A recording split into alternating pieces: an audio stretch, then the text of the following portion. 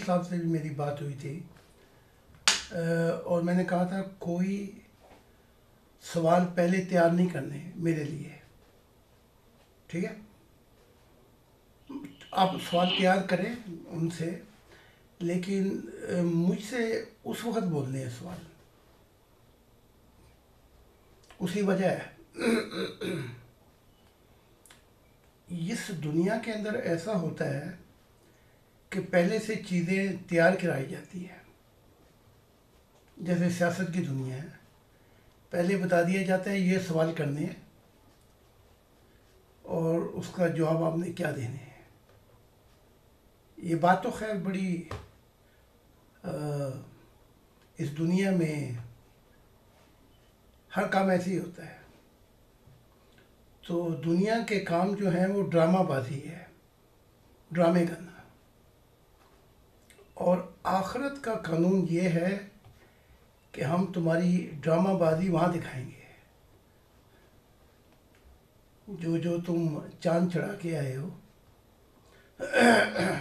इसलिए मार्फत इलाही की दुनिया में कोई पर्दा नहीं जो हटाया ना जाए। तो हम आखिरत की दुनिया में पता चले कि मसीह ज़माना भी ड्रामे किया करता था। पहले से चीज़ें तैयार करवाता था, फिर पढ़वाता था, फिर कहता हाँ ये ठीक है। तो मार्फत इलाही की ज़िंदगी में पहला सबक ये है, लेकिन हम सीखते नहीं। हमारी छुपी हुई चीज़ों को ज़ाहिर कर दिया जाएगा।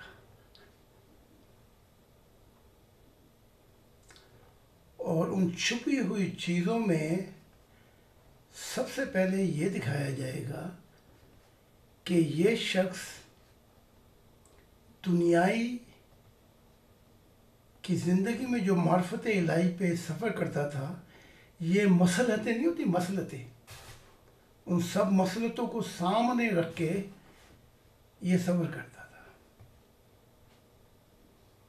और बड़ी तकलीफ़ दे सच्चाई ये है दुख और गम की कि मार्फत की पहली सीढ़ी जो है, जब अनल हक, जब रूहानियत की दुनिया में कदम कोई रखता है तो पहली आवाज़ में ही खुदा उससे ये पूछता है कि क्या तू अपनी ज़िंदगी मेरे लिए दे सकता है? और वो कहे कि जी, मैं तो बड़ी मसरत है, अभी ये नहीं कर सकता, अभी ये नहीं कर सकता, अभी यूँ करूँगा, अभी ये करूँगा, अभी वहाँ करूँगा। तो वो लोग काम चलते तो नेकी पे हैं, लेकिन उस दुनिया में दाखिल नहीं होते जो हजाबों से बाहर है।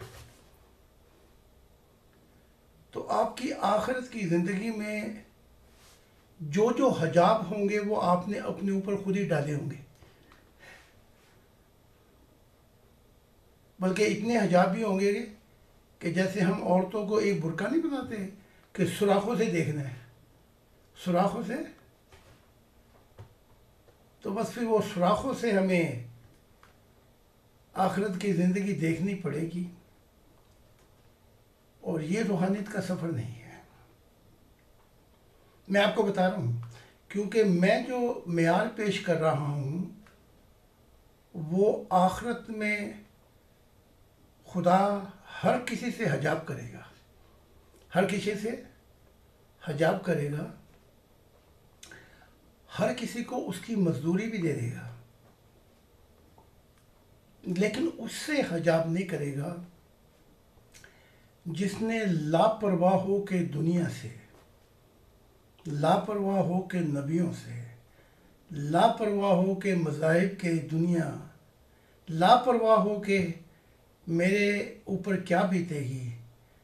और अपनी ज़िंदगी को खुदा के हजूर दे दिया तो उनमें से वो थे जो मर गए, और उनमें से वो थे जो मरना चाहते थे, लेकिन मरने दिया नहीं खुदा ने। वो मरने इसलिए नहीं दिया कि खुदा ने देख लिया, इसकी एक दफ़ा जान नहीं लेनी। एक दफ़ा एक दफ़ा जान ले ली तो छुट्टी हो गई उसकी। इसकी जान हमने कई कई दफ़ा लेनी है।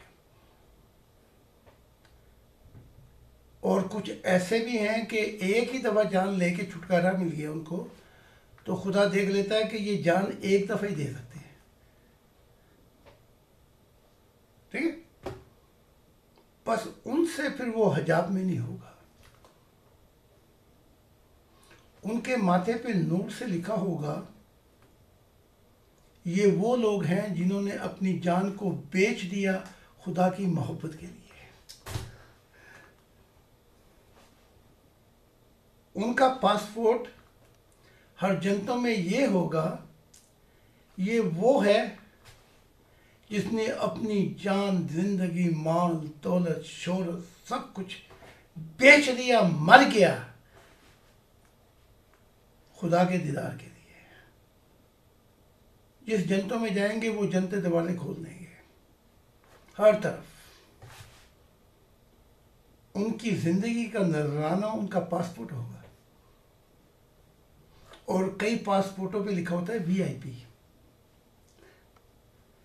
जैसे अमेरिका का सदर है, इनके खास खास लोग होते हैं उन पे डिप्लोमेटिक पासपोर्ट होता है। तो हर किसी की उड़ान होगी, लेकिन उनमें से उनकी उड़ान होगी कि दोनों की है परवाज एक फिजा में।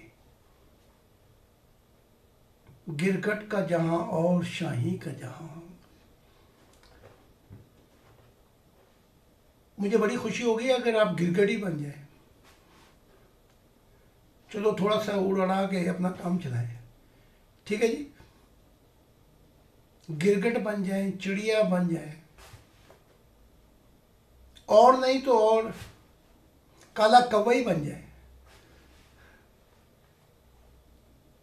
काला क्लूटर कौवा है, लेकिन वो हजूर के साथ था, वो मर गया उनके साथ। मरना चाहता नहीं था। अमी खां खां अमी खाम खां था। गलत वक्त पे कहीं खड़ा हुआ था, हजूर के साथ झगड़े में आ गया। तो फिर खुदा कहेगा, है तो ये काला कलूटा। शक्ल भी इसकी अजीब सी लगती है तो इसको कवा बना देते हैं, ताकि ये भी प्रवास करे जनतों में। और जंती उसको देख देख के हैरान होंगे कि ये काला कवा कहाँ गया। शक्ल की भी इसकी टेढ़ी सी है बात करता है तो और बुरा लगता है। ठीक है? तो कहेंगे कि ये मसीह ज़माना के साथ कहीं गलत जगह पे खड़ा हुआ था। हजूर बच गए, ये मारा गया। ठीक है? इसलिए ये काला कौवा लेकिन पर लगा देगा। पर इसलिए लगा देगा कि उड़ के कहीं ना कहीं पहुँच जाए।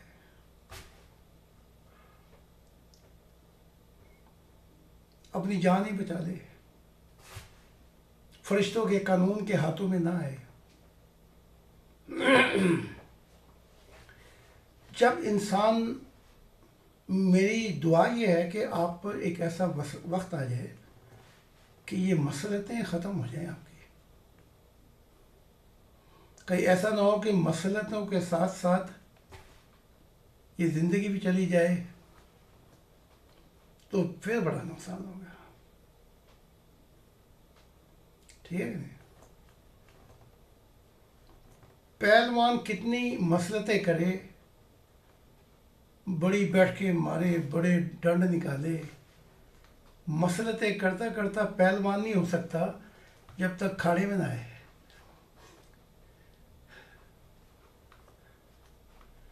खाड़े में फिर पता लगता है कि ज़िंदगी क्या है और मोहब्बत क्या है। बुढ़ापा आ जाए, फिर भी बचाता फिर अपने आप को। हम्म। तो एक ऐसे वक्त भी आए हैं, मेरी ज़िंदगी पर कि फरिश्ते भी, फरिश्तों ने भी मुझे अपने पूरे मुके मारे। जैसे बॉक्सिंग में नहीं होता मुक्का पड़ता तो आप जाके गिरते हैं ज़मीन पे। जबराइल ने अपना मुक्का मार के देखा।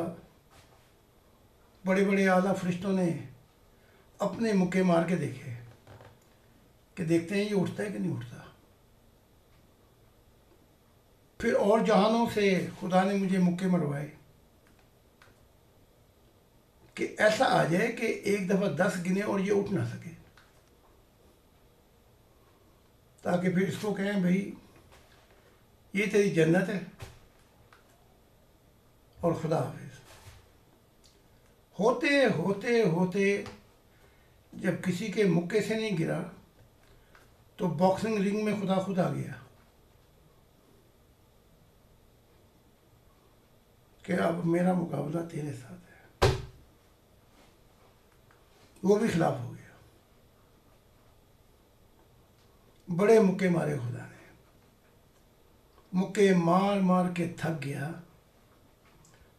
और जितने भी मुक्के मारता, मेरी मोहब्बत गालिब आ जाती उसके मुक्कों पर।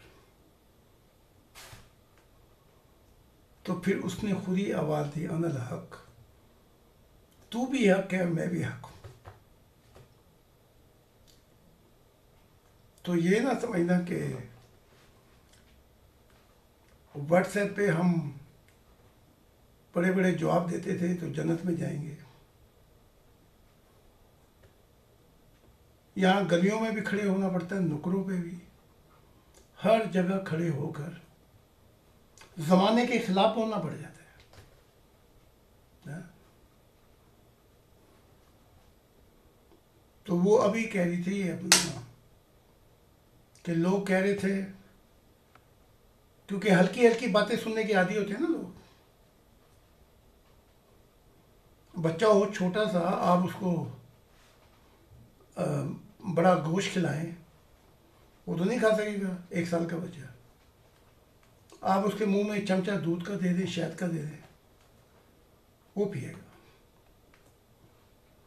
तो कह रहे थे कि क्योंकि मेरे मेंबर भी बोले कह रहे थे हाँ तुम बड़ा अच्छा बोले लेकिन जब तुम्हारा बानी बोला ना, नबी तो हज़म नहीं हुई चीज़ें हमारे से।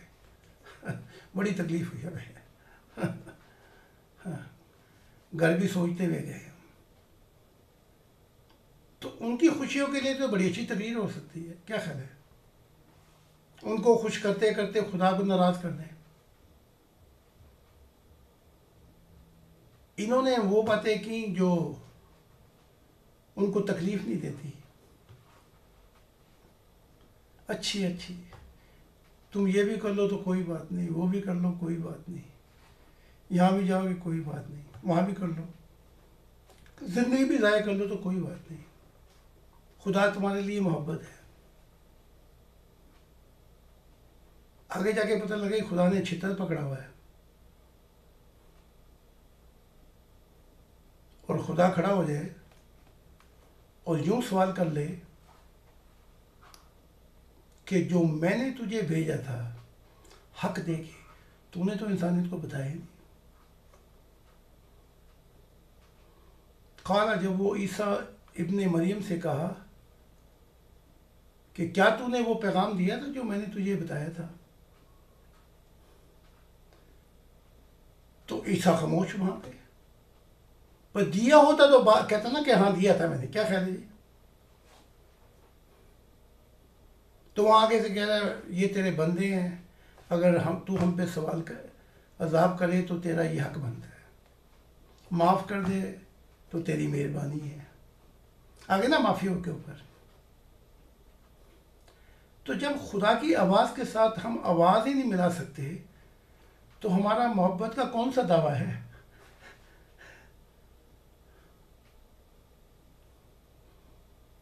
ये जो उलमा हैं, ये जो दुनिया के लोग हैं, हर शख्स से वो बात करते हैं जो उसको पसंद आ जाए।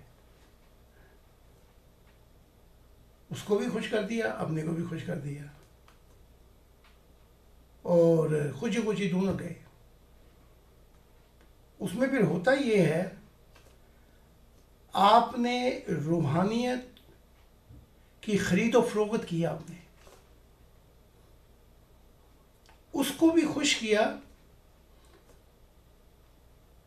अपनी भी पूंछ बचा ली। ठीक है? लेकिन इसे रूहानियत की उल्टी कलाबाजियाँ कहा जा सकता है। लेकिन ये हक वहाँ तक नहीं पहुँचा कि इंसानियत बदल जाती। वहाँ तक नहीं पहुँचा। आप खुद भी मारे गए। आने वाली नस्ल वो भी अंधी रही। और फिर ये अंतों का दौर चलता जाएगा और खुदा बार बार कहेगा कि अगर तू ऐसे चलता जैसे मैंने कहा था तो ये देख करोड़ों करोड़ों, खरबों खरबों इंसानियत जो है, इनका ज़माना बदल जाता। अब ये सारे तेरी वजह से फंसे हुए तो आप आगे क्या जवाब देंगे? खुदा इस वजह से बात नहीं कर सकता। इस वजह से बात नहीं की ऐसे हालात थे। ऐसे हालात थे, ऐसे हालात थे। तो हमें जान लेना चाहिए, हालात कभी भी ऐसे नहीं होंगे कि आप हक की बात कह सकें। किसी जमाने में भी हालात ऐसे नहीं थे। चार सौ नबी थे।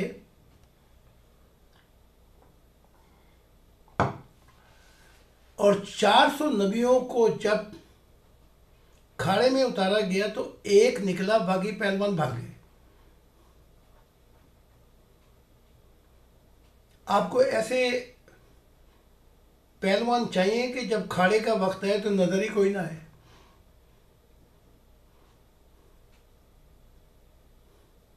तो खुदा ने कहा जब्राइल जा और पहलवानों को लेके आ मेरे पास. जब्राइल गया जो दुनिया के सही पहलवान थे, ले आया। कहा, ये ले। कहा, ये पहलवान नहीं है। वो पहलवान लेके आ। जब सब्र की छुरियाँ चली, तब भी पहलवान रहे। जब इस्तेकामत की कैद ज़िंदा के अंदर उनको दफन कर दिया गया, तब भी पहलवान रहे जब शजात का वक्त आया तो कोई जब नहीं रहा फौज में, ये तब भी पहलवान रहे उन पहलवानों को लेके आ, जिन्होंने बार बार बार मर के मुझे मोहब्बत का नजराना पेश किया। उनको ले गया पहलवानों को मेरे सामने। उनको लेके आ पहलवानों को, जिन्होंने जन्नत की तमन्ना आरज़ू ही नहीं की, उनको पहलवानों को ला और उन पहलवानों को ला जिसने मुझसे भी कुछ नहीं मांगा। और खुदा कहता चला गया, अब जिबराई लाया तो छह हज़ार गुजर गए, कोई पहलवान ही नहीं आया, कोई आए तो भेजे तो खुदा ने पैगाम पहुँचे जिब्राइल क्या अभी तुझे कोई पहलवान मिल नहीं रहा? लेकिन खुदा ने एक शर्त लगा दी थी। पहलवान वो लाइयो जिससे मेरी दुनिया बदल जाए। पहलवान वो लेके आना है जिसने मेरा जमाना बदल जाए। पहलवान वो लेके आना है जो सबकी सफट लपेट कर मुझे इंसानों के सामने ला खड़ा करे। धक्के खाते खाते जब नया आदम आया तो फिर उसने कहा, अब आया है कोई पहलवान। तो जब खुदा ने कहा अच्छा लेके आ तो ये नहीं कहा कि चुनिया लेके, भाई, बड़ा अच्छा पहलवान है। फिर खुदा ने कहा, इसको हम आजमाएँगे। हम भी तो आजमा के देखे। इसको फरिश्तों के खाड़ों में भी उतारेंगे, जिन्नात के खाड़ों में भी उतारेंगे, फरिश्तों के खाड़ों में भी उतार के और इसको इंसानों के खाड़ों में भी उतारेंगे। और इसको कायनात की जितनी मखलूकत हैं, सबके खाड़ों में उतार कर भी अगर ये हमारी दुनिया ला सकता है तो फिर मैं आऊँगा पहले, देखूँगा कि क्या ये मेरा भी मुकाबला कर सकता है। तो जब ऐसा हो जाए तो फिर खुदा ने कहा, फरिश्तों को सजदा करो, इस नए आदम को। सजदा करो इस नए आदम को। फिर कहा, जिन्नात से और मखलूक़ात से तुम भी करो सजदा। जब सजदा करा लिया सबसे तो फिर खुदा ने खुद सजदा किया। ये कहकर कि ये जो दुनिया है, जिस दुनिया का ज़माना तू लाने चाहता है, ये तो मैं भी नहीं ला सका।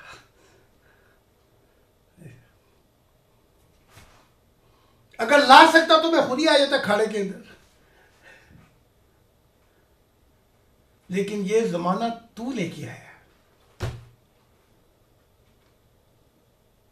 तो ख्याल रखना, कहीं ये दुनिया तुम्हारी उल्टी कलाबाजियाँ ना लगा दे। इस दुनिया की मसलतों से फारग होना है। कहीं ऐसा ना हो जाए कि आधे आधे फंसे हुए यहाँ तक। उम्रें हो जाए सौ सौ साल, अस्सी अस्सी साल, पचहत्तर पचहत्तर साल। और कहो, अब भी दुनिया की मसलतें हैं। हजूर, आप आगे चले जाएँ, क्योंकि आप तो वैसे भी मरना चाहते हैं। जहाँ कोई काम हो, हजूर को आगे करते हैं। जैसे यहूदियों ने जहाँ भी फंसते थे, अपने सारे गुनाह लाद के दुम्बे पे करते थे दुम्बे पे। दुम्बे पे छुरी फेरे। अब अगर आपने भी सारी ज़िंदगी मुझे दुम्बा बनाए रखा,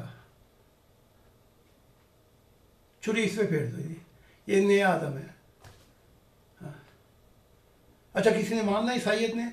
अच्छा हम हजूर को लेके आते हैं, इनको आगे करें। बड़ी जान देना चाहते हैं। मुसलमानों का हमने बम रखना हाँ हम हजूर को ले आएँगे। मकसद ये कि कहीं ना कहीं हम तो बचे। तो मोहम्मद को चाहे गलतियाँ लाखों हों, लेकिन शजात भी कोई चीज़ होती। जवानी का ज़माना था। हलल हलल हलल पड़ी जनाब जंग में। तो मोहम्मद के साहबी भी भागे। आए हाय शजात को भी हम परख के देखेंगे। कहीं ये फ़िल्मों में बढ़ के तो नहीं मारता सुल्तान सुल्तान राय की तरह। मौला जब तो नहीं बना हुआ कहीं। हलल हलल पड़ी और देखे ना कुछ। तीस हज़ार घोड़े आपकी तरफ़ दौड़ रहे हों। अगले लोहे के लिबास में हो और धुआँ आसमान पे पहुँच रहा हो तो फिर मोहम्मद के साहबी भागे। हाय हज़ारों की तादाद थी, अब नौ बाकी रह गए। उन नौ के भी पैर उखड़ गए। फिर वो संभले अपने आप को। लेकिन मोहम्मद जहाँ खड़ा था, वहाँ एक और भी खड़ा हुआ था। अली। शजात की दुनिया को भी पढ़ के देखा जाएगा। तो अली ने भी चाहा कि लगाम पीछे की जाए और फिर कहा कि अब्बास को इसकी आवाज़ ऊँची थी, चचा की। आवाज़ लगाओ। कोई है खुदा वाला, जिसके यहाँ पैर न उखड़ने पाए और हमारे साथ खड़ा हो जाए। अब देखे ना जी, अब्बास उस्मान के बड़े कारोबार थे। वो सबसे पहले भाग गया। मेरे कारोबार कौन चलाएगा। मेरी दुनिया उजड़ जाएगी। सारे साहबा भाग गए। जब सब भाग गए और नौ के भी पैर उखड़े, फिर वो समझे थोड़ा सा तो वहाँ एक ही शख्स खड़ा हुआ था। मोहम्मद। और उस घोड़ों की टापों पे जो चले आ रहे थे, उस तरफ़ मुँह करके कहता, कि मेरा सदक और मेरी शजात इनसे नहीं देखी जाएगी। मैं खुदा का नबी हूँ। ठीक है? तो फिर ये नौ जो थे, ये फिर, देखो ना कितने हो, चाहे लाखों हो जाए, हज़ारों हो जाए, इन्होंने घेरा डाल के उन तूफानों के आगे खड़े हुए। और फिर यहाँ तक हुआ कि वो जो भागे थे और जो पीछे साहबा थे, उनके पीछे वो चाहते थे कि आगे आ जाए। सौ एक लोग होंगे। लेकिन उनमें फस फसैया ये हो गया जो भाग रहे थे। तो ऐसे जैसे समुद्र चढ़ रहा हो एक तरफ़ को तो वो तो नहीं आगे आ सकते। तो उन्हें फिर अपने लोगों, अपने अयाल अपने रिश्तेदारों को मारना पड़ा ताकि वो मोहम्मद तक पहुँच जाए।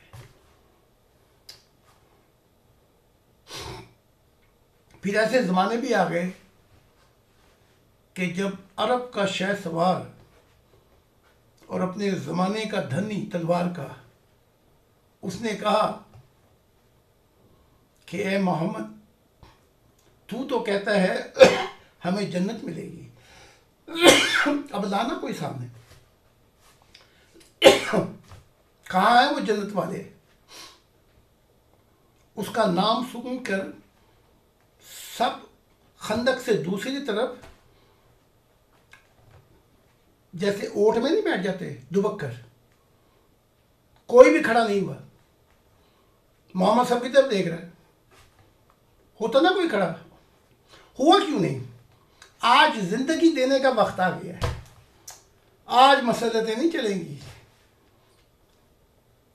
अच्छे वक्त में कह देते हैं सारे, हजूर हम तो ये कर जाते हैं, वो कर जाते हैं। हमारे भी मानने वाले थे, इंडियन सिंह भी बड़े बड़े असी जान दे देंगे वो जान का तो वक्त ही नहीं आया वो पहले ही बेजान हो गए एक झक्कर चला हवा का उसके बाद नज़र ही नहीं है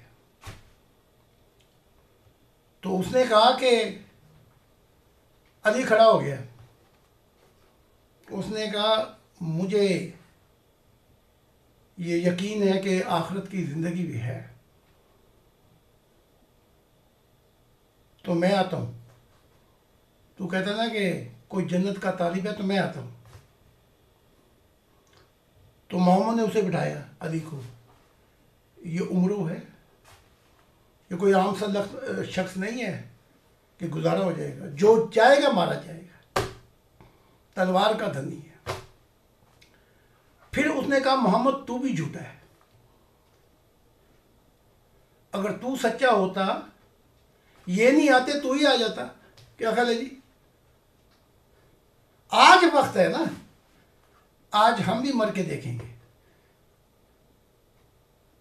अली फिर खड़ा हो गया। और जब खड़ा हुआ, मोहम्मद ने फिर बैठा दिया। मोहम्मद का कहना ये था, ये हमारे जोड़ का ही नहीं है। कोई छोटा मोटा पहलवान हो तो हम लेके आए सामने, ताकि हम भी कुश्ती करें। इससे कुश्ती में ज़िंदगी चली जाएगी। अली, ये उम्र है। झूठा कहता है, कहने दे। जनता को झूठा कहता है, कहने दे। आज अपने आप को बचाने का वक्त है, ठीक है? और वो इतनी ऐसा था कि वो छलांग मार के जो जो खंदक थी, उसको अबूर नहीं कर सकते थे। वो उसको अबूर करके मोहम्मद की फौज की तरफ़ आ गया और उसे पता था कि शजात को वो जानता था क्या चीज़ है। आखिरी बात उसने फिर ऐसी की कि मोहम्मदों की मसलतें भी मसलतें रह गई। फिर अली ने कहा, अब ये मसलतें, अब ये मुझसे बर्दाश्त नहीं होगी। कहा भी तेरा खुदा भी झूठा है। आए। मैं बता रहा हूँ कि कम से कम कोई काम तो ऐसा कर जाए, कर जाना कि सब्र का ताज ही रख दिया जाए शजात का ताज ही रख दिया जाए, इस्तेकामत का ताज रख दिया जाए, कोई कोई सब्र का ताज रख, कोई ना कोई तो ताज मिल जाए ताकि हमारी आखिरत जो है, हम आगे निकल जाए। वो ताज की बताए, बजाय हमें ताजियाना पड़े ड्रामाबाज आ गए, लाइन में खड़े गए। फिर मोहम्मद ने मसलत को पेश किया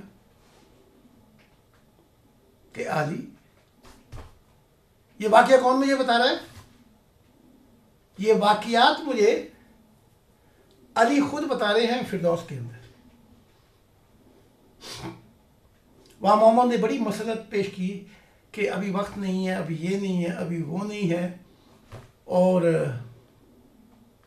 आज अगर तू गया तो वापस नहीं आएगा कैसी मसलत है जी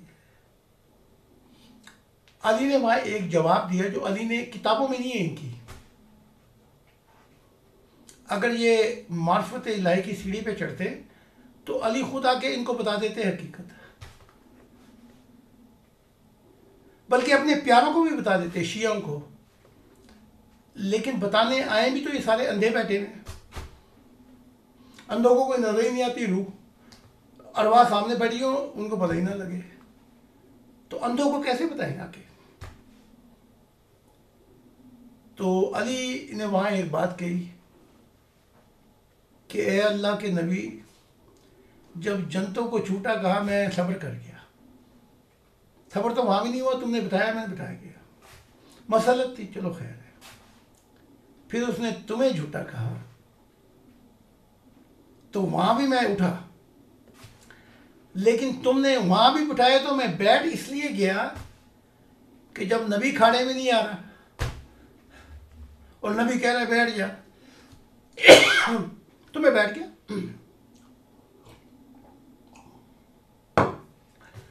अपनी मसलतों की दुनिया को लेकर। अब इसने खुदा को झूठा कहा है। अगर अब मैं बैठ गया तो मैं आखिरत की ज़िंदगी के ऊपर मैं इस आखिरत की ज़िंदगी को नहीं ले सकता। वो जन्नतें मेरे लिए जहन्नम बन जाएगी कि जब मुझे ये ख्याल आएगा ख्याल आएगा कि तेरे खुदा को भी झूठा, खुदा कहेगा, पूछेगा, मुझे भी झूठा कहा गया तो फिर भी बैठा रहा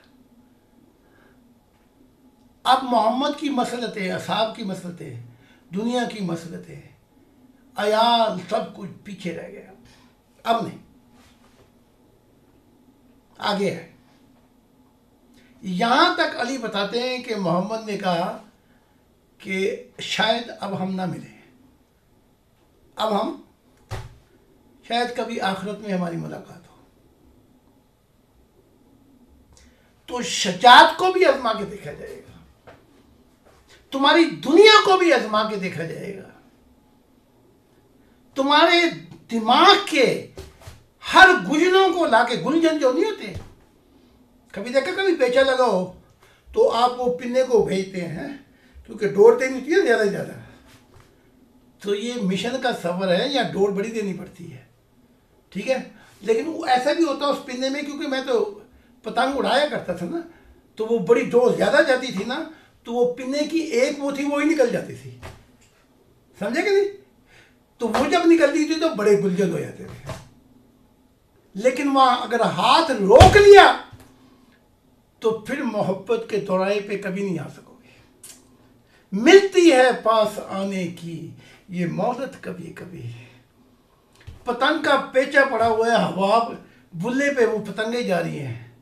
और अगर वो पीढ़ी पकड़ने वाला सही ना हो ना, वो पीढ़ी होती है एक एक करके कोई, गालबन कोई तीन तीन मीटर, तीन सौ मीटर की तो वो एकदम बदलनी पड़ती है। अगर सही ना बदले तो पीढ़ी की पीढ़ी निकल जाती है। बल्कि बालों का पिन्ना ही निकल जाता है। हाथ से। वो फड़ी वो फड़ी वो फड़ी। इधर वो फड़ी फड़ी, उधर कुप का हिस्सा हाथ में आ जाता है। है? तो यहाँ फड़ी फड़ी तो नहीं जाती, लेकिन यहाँ चीज़ें फट जाती हैं। ठीक है? तो फिर या तो पतंग बुल्ले की तरफ़ गई या पेचा हार गया बल्कि वहाँ वो भी हो जाता है क्या कहते हैं वो वो डोर निकलती है तो वहाँ खून भी निकल आता है। हाँ तो हाँ जी। हाँ जी।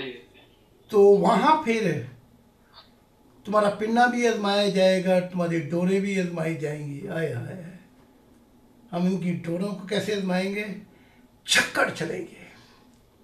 आए हाय ऐसे से झक्कड़ के ख़ानदान माइस औलाद, मोहब्बतें दौलत, दुनिया, आखिरत, सबको निबेड़ के इनको ऐसे झकड़ों में ला के खड़ा किया जाएगा कि इनको इनका साया नज़र ना आए। फिर देखेंगे हम। अगर फिर भी ये खड़े रहे तो फिर शाबाश है। पता लगेगा जनतों में खोते भी एक ही साथ जा रहे हैं, घोड़े भी एक साथ जा रहे हैं। ठीक है? गधे भी एक साथ जा रहे हैं। ऐसा नहीं होगा। हम फ़र्क करके बताएँगे आखिरत की ज़िंदगी में। तो वो जो मैंने सुबह पैगाम भेजा था ना किसी को, आप समझ गए होंगे। वो पैगाम ये था कि इस ये जो ज़िंदगी है, ये वक्त की कैद में है। बड़ी महदूद वक्त में तूने अपनी मोहब्बत को खुदा की मंजिल तक पहुंचाना है। और अगर तू अपनी मसलत से काम लेता रहा तो इसे रूहानियत नहीं कहा जाएगा। इसे रूहानियत नहीं कहा जाएगा। इसे मज़हब कहा जाएगा। जो चीज़ अच्छी लगे, उसमें से वो निकाल लो। ठीक है? यही है ना? जो चीज़ तुम्हें कुरान में अच्छी लगे, वहाँ से निकाल लो। जो वहाँ ना मिले अच्छी चीज़, हल्की हल्की तो वो हदीसों में से निकाल लो। ठीक कहते हैं, हमें हुसन बड़ा पसंद है। मोहम्मद निकाह किया करते थे तो उनकी सुन्नत को पूरा करते हैं। मोहम्मद तो फिर खून के मैदान में भी खड़े हुआ करते थे। उस सुन्नत को भी पूरा करो, क्या है जी हैं? ये सिर्फ़ औरतों की निकाहों की सुन्नत पूरी करनी है।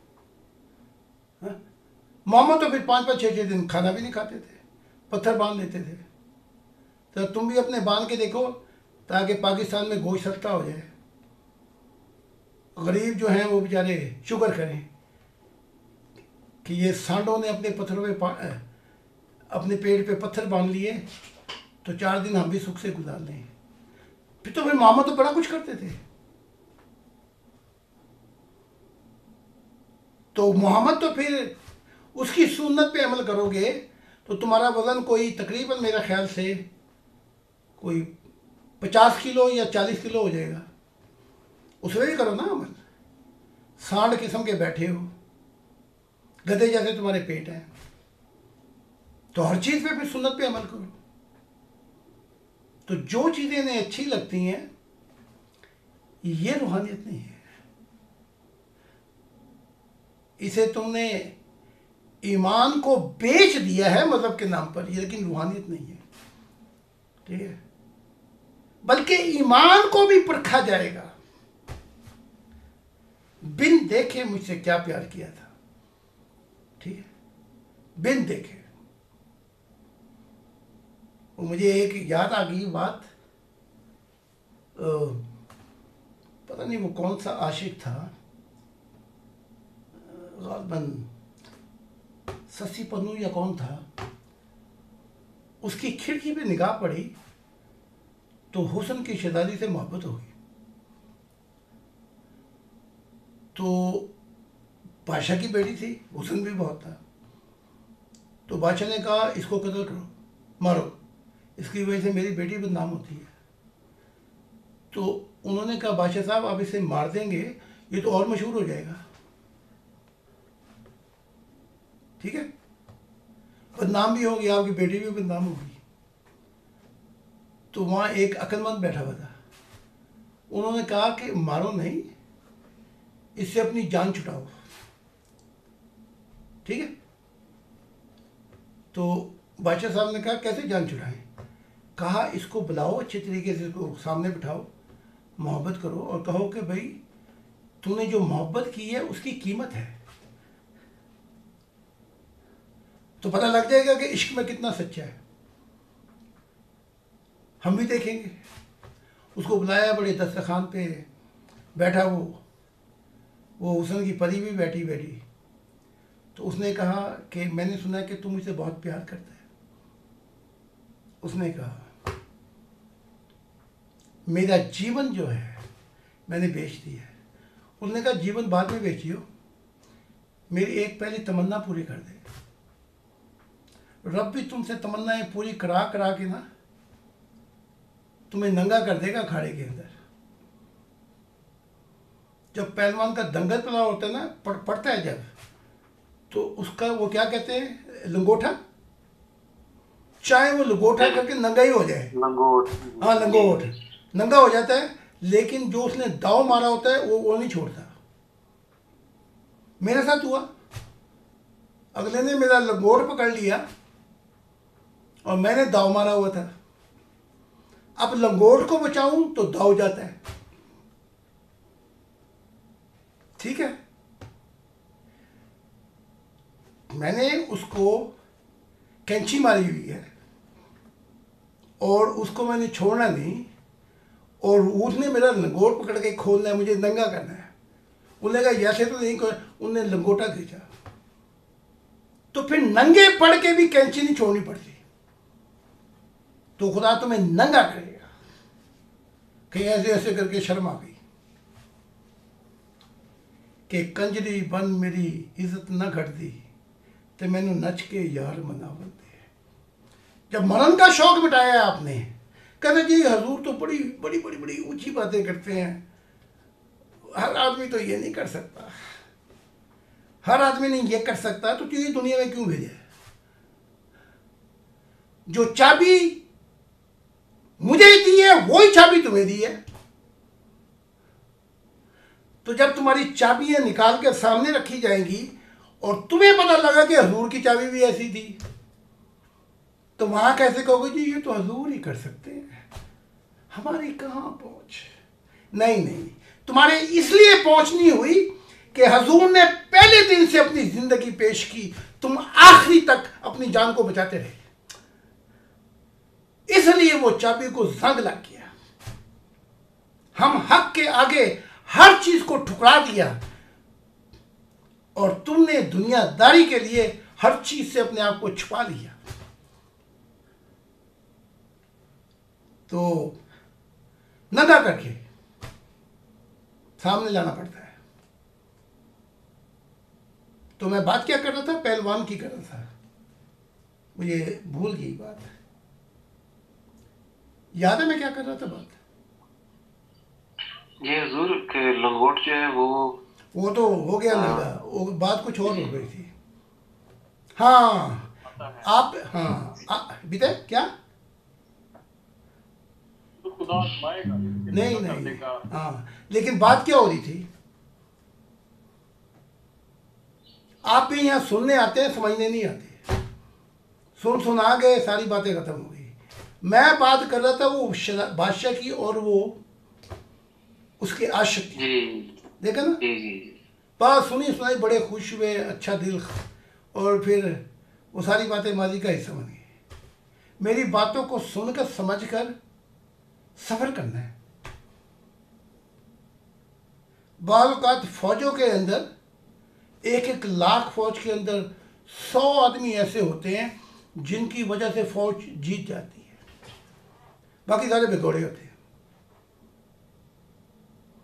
तो बिठाया उसको उसको बैठा के उस हुसन की परी ने बड़ी प्यारी प्यारी बातें की और कहा, मैंने सुना है कि तू बहुत मुझसे मोहब्बत करता है, बल्कि पूरे मुल्क में बदनाम हो गई मैं, तेरी मोहब्बत की वजह से।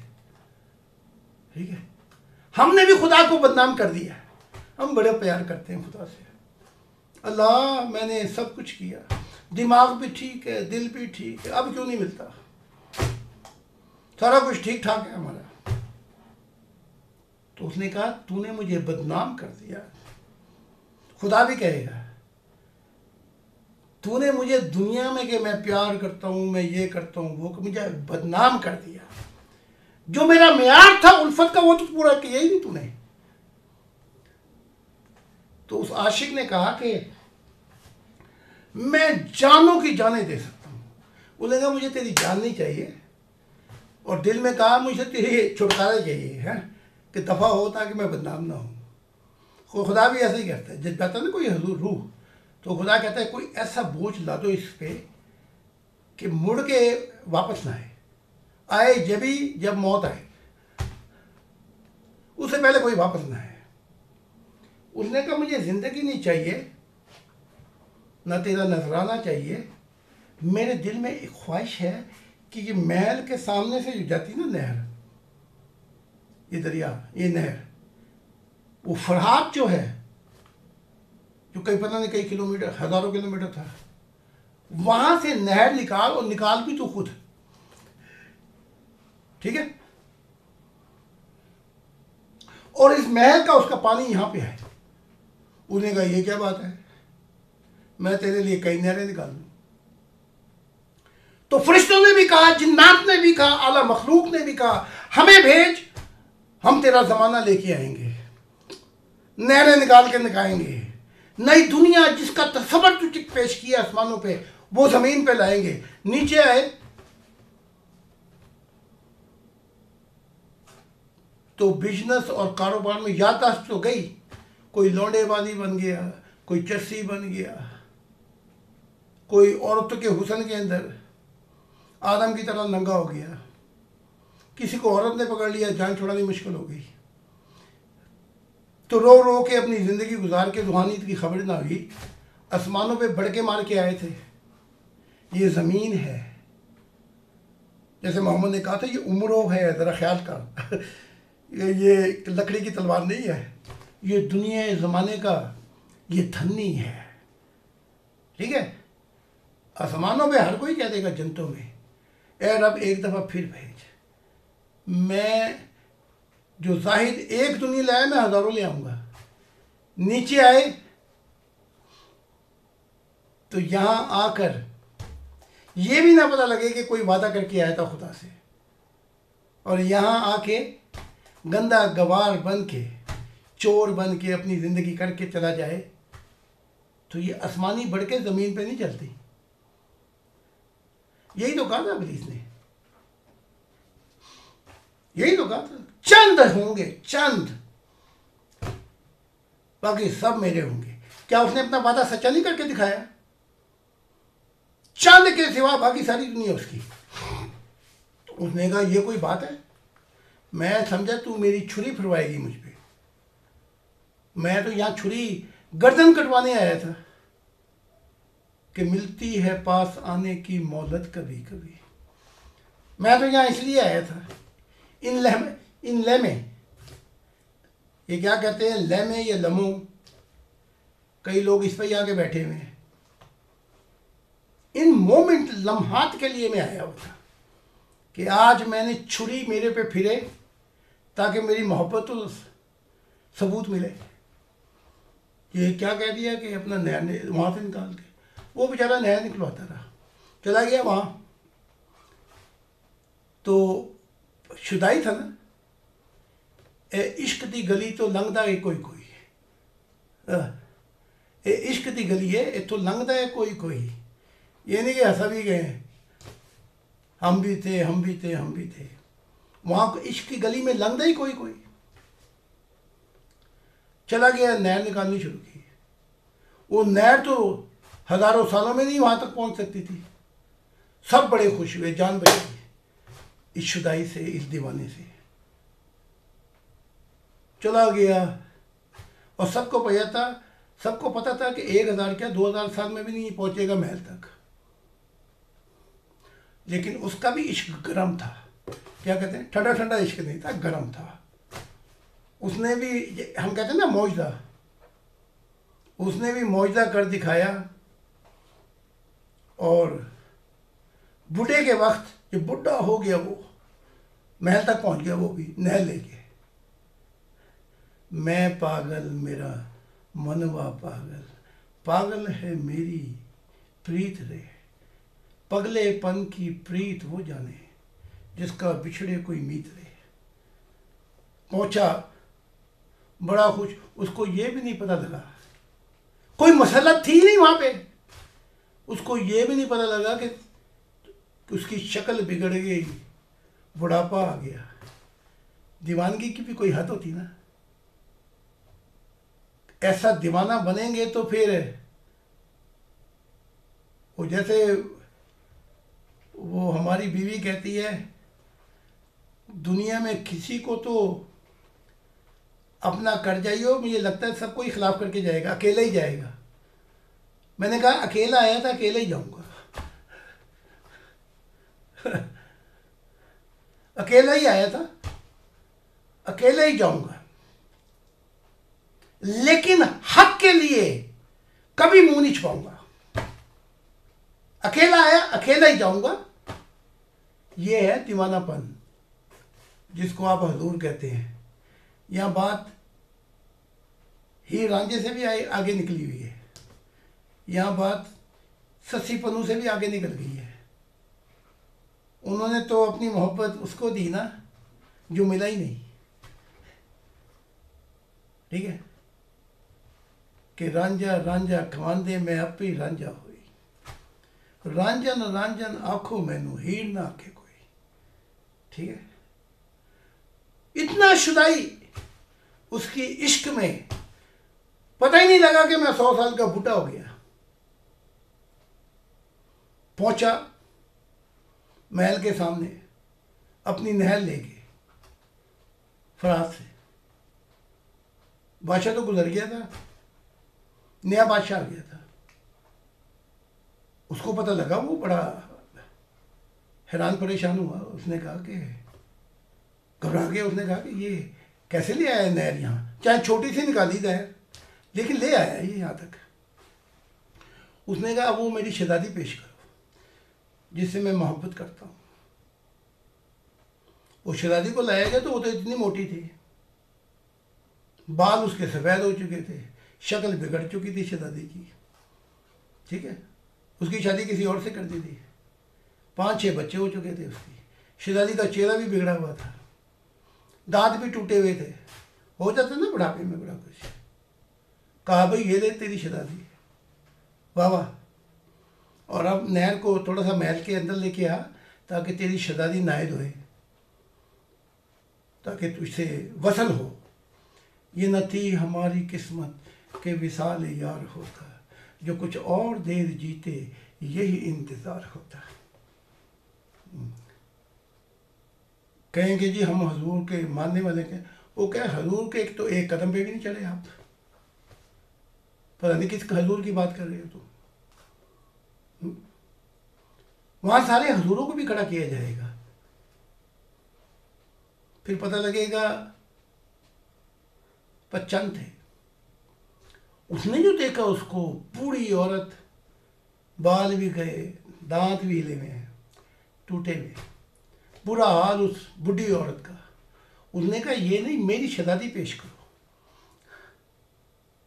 जिसको मसलते परे करके हमने अपनी जान दे दी। उसने कहा, यही है जिससे तूने मोहब्बत की थी। उसको यकीन ही ना है फिर किसी ने कहा, ये शीशा है, जरा अपना चेहरा भी तो देख ले। तो तेरा क्या हाल हो गया? है अपना चेहरा देखा तो डर गया। कहा, ये मैं नहीं हूँ। हाय हाय, हुसन भी जाएगा, जवानी भी जाएगी, सब कुछ निकल जाएगा।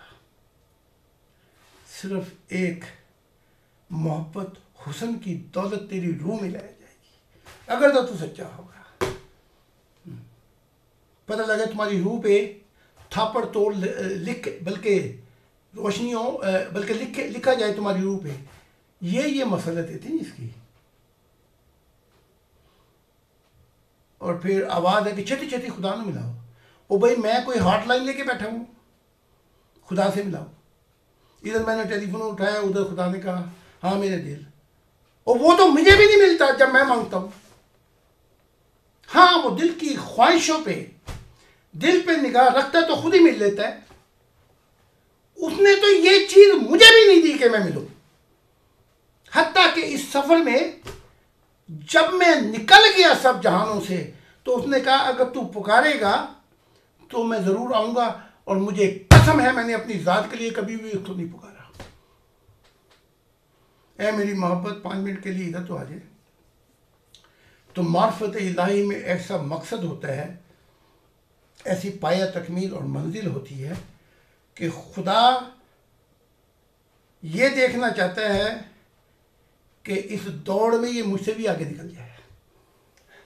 तो हम पर ऐसे ज़माने भी आए कि खुदा की तमन्ना और ख्वाहिश को भी छोड़ दिया। तो तुम कौन सी जनते मांग रहे हो तो जब उसे शीशा दिखाया गया, उसे होश आई ओहो ये तो ज़माने बदल गए मुझे पता ही नहीं लगा। मोहब्बत ये वही है जिसके लिए मैंने अपना जीवन दे दिया। हर चीज़ को परे करके। फिर उसने कहा ये जो बुढ़ी शहजादी है माई जिसका चेहरा मुझे देखते हुए हम्म, मैं इसका हुसा- कोई हुसा नहीं उन्होंने कहा महल में। अब इसको दिलाने की क्या ज़रूरत है? जो नहर है, वो मैं गरीबों की तरफ़ फेर देता हूँ, कि वही पानी पिए होश आ गया मोहब्बत से। तुम्हारी इश्क की दुनिया देखी जाएगी, तुम्हारी उल्फत की दुनिया देखी, उल्फत की दुनिया में तुम्हें मर जाता है इंसान। और मैं एक बात बता दूँ, इस पचास साल में मैं हज़ारों दफ़ा मर गया हूँ। बीसियों दफ़ा कत्ल की जद में हूँ। हमने अपनी तरफ़ देखा ही नहीं। बल्कि यहाँ भी ऐसे ऐसे दौर आए हैं, पीछे मुड़ के देखा तो कोई था ही नहीं। सब निकल गए पीछे? तो होश जब हमें आएगी तो आखिरत की ज़िंदगी में हम खड़े होंगे।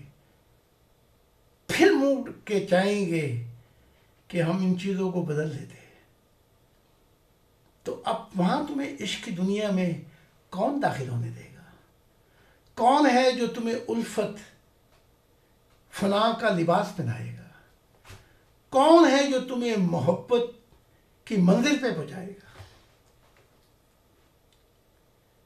तो ये ज़िंदगी महदूद है। कि जी मैं वहाँ भी देता हूँ, वक्त मैं यहाँ भी देता हूँ।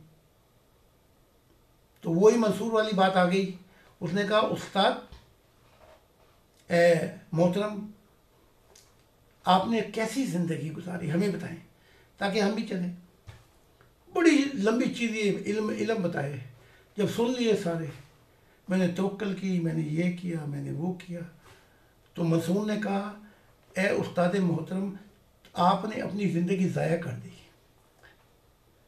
अब मोहब्बत की फना के अंदर ज़िंदगी का नजराना कब पेश करेंगे? हाँ? हक बात जो है वो कब लोगों को पता लगेगी कि ज़माना बदल जाए?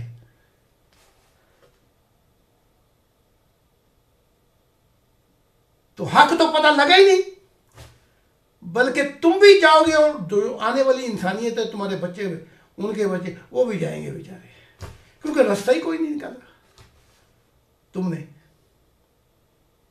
तो जब हक की बात को बताने का वक्त आया तो वहाँ कोई था ही नहीं। चार सौ नबी।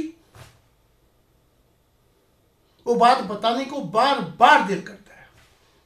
फ्रांस के अंदर म्यूज़ियम में मंसूर बिन हलाज की किताब है, जिसे महफूज किया गया है। उसकी कुछ चीज़ों को पढ़ने का इतफाक़ हुआ। हाय हाय। आप फिर शुदाई कहेंगे उसे, दीवाना कहेंगे, इश्क कहेंगे, पागल कहेंगे, जो मर्ज़ी कह लें। लेकिन वो निकल गया उस जब हक को परखने का वक्त आया, पता लगा ये तो बड़ी अजीब अजीब बातें करता है। ऐसी बातें, ये तो हमारे हजूर को भी पीछे करता है। ये तो आगे की बात करता है, खुदा की। बल्कि उसका भी बताता है। मंसूर खुदा के राज भी बताता था। आई ना बात? उन्होंने कहा कि इसको लेके आओ। मंसूर को लाया गया। कहा, कितने नबी हैं जिनका दावा है तुम्हारा? कहा, चार सौ। अब हक बताने का वक्त आया। हम्म। वो कहा गया ना जो बच्चों की तरह तुम्हें समझाया गया था कि वहाँ तलवार होगी और वो काट देगी तुम्हें जो सच्चा नहीं होगा। अब कटने का वक्त आया। कहा कि चार सौ है। कहा कि वो भी वही दावा रखते हैं। उसने कहा हाँ कई तो मुझसे बड़ा दावा रखते हैं। कहा कि तो मुझसे, तुझसे भी बड़ा कहा। हाँ कहा, उनको भी लेके आओ। सब लाए। मंसूर ने कहा कि इनके सामने ज़रा आग भड़काई जाए। आग के ऊपर तेल भड़काया जाए ताकि सोने पे सुहागा हो जाए। ठीक है? आग जल रही है। बड़ा बड़े वो कहते हैं क्या कहते हैं? वो बड़े बड़े वो रखे हुए हैं। वो तेल खोल रहे हैं। तो कहा गया कि जिसका नबूत का दामा है वो यहाँ ज़रा इधर आ जाए बल्कि लाइन में लगने की ज़रूरत नहीं, बल्कि सारे इधर आ जाए अब वो तेल भड़क रहा था। आग नीचे जल रही थी और वो खोल रहा था। अब हक की बात कौन बताए? जब कश्ती साबित सालिम थी, साहिल की तमन्ना किसको थी? अब तो ऐसी अब ऐसी शिकस्ता कश्ती पे साहिल की तमन्ना कौन करे? अब इस खोलते हुए तेल और आग के अंदर गिर के हक को कौन बताएगा? है? बड़े बड़े आएँगे बाद में, खुदा से मिलेंगे बड़े बड़े नबी होंगे, लेकिन खोलते हुए तेल में कौन गिरे? है? जब उसने दो तीन दफ़ा कहा तो वहाँ नस्ली कोई भी नहीं आया। सब मुकर गए। ऐसे नबियों का अचार डालेगा खुदा? हम्म? जब मुकर गए सारे। तो उसने कहा, तू तो झूठा है, मंसूर को। यहाँ तो सारे गए। सबने मसलतें की। कि नहीं, हमारा मतलब ये था, हमारा मतलब वो था। बल्कि जनैब ने भी अपनी जान बचाई। जिसे सूफियों का ताज कहा जाता है उसने भी अपना ताज परे कर दिया, खामोश हो गया।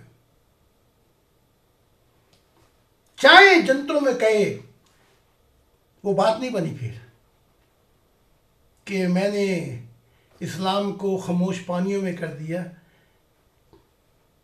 तो ताज खुदा ने वापस ले लिया। इधर कर ताज। ये जो सूफियों का ताज है तू, होगा कहीं और का। बस अब फिर, ये ले, ये तेरी मसूरी उसने कहा तो तू झूठ बोल रहा था मंसूर उसने कहा, नहीं, मैंने सच कहा था, चार सौ थे। उसने कहा तो आज तो कोई भी नहीं है। उसने कहा, दो हैं और एक मैं हूँ। लेकिन वो दो पे भी मुझे अब शक पड़ गया है। वो भी मसरत के साथ ये लगता है कहीं बहाना ना बना रहे। तेरे वादे पे क्या क्या इंतज़ार किया। अब कोई कर बहाना ऐसा मेरी आस टूट जाए कैसे कैसे बहाने? तो एक वक्त आया, मैंने खुदा की बहानेबाजी भी कबूल नहीं की। मैंने कहा, तूने आना ही नहीं। बहाना क्या करने की ज़रूरत है? जब मैंने कह दिया, तूने आना ही नहीं। आना जब जब वो दुनिया आ जाए जिसके लिए तूने अंबिया भेजे थे, तब आना। वरना आखिरत में भी मिलने की ज़रूरत नहीं है। जब हमने अपने वादे ही नहीं सच्चे साबित किए तो फिर काहे का मिलना? मिलन तो जब होता है, जब इंसान कामयाबी को किसी चीज़ को पेश कर देता है। तो उसने कहा कि वो भी आए उन्होंने ही बहाने बना लिए एक झूठ मूठ शुदाई बन गया। अबू शबली नाम था उसका। तो अबू शबली आगे से कहता है कि अपनी किताब में लिखता है मेरे दीवानेपन ने मुझे बचा लिया और मंसूर के होश ने उसको सूली पे चढ़वा दिया। जब मेरी मुलाकात हुई तो मैंने कहा, देख अब, मंसूर कहाँ है, तू कहाँ है? तेरे ही अकल और होश ने और मसलत ने तुझे नीचे यहाँ बिठा दिया और मंसूर के दीवानापन ने उसको वहाँ बिठा दिया। रफा अल्लाह, खुदा उसको ले गया अपनी तरफ़। तो अपनी किताब में उल्टी लिख दिया कि मैं झूठ मूठ दीवाना बन गया तो मैं बच गया। हाँ तू घोड़ा बना तो तू बच गया। दुनिया की इस मसरतें तेरे सामने थी। उन चीज़ों को सुलझाता सुलझाता अगर खुदा तेरे सामने होता तो फिर तू असल दीवाना होता।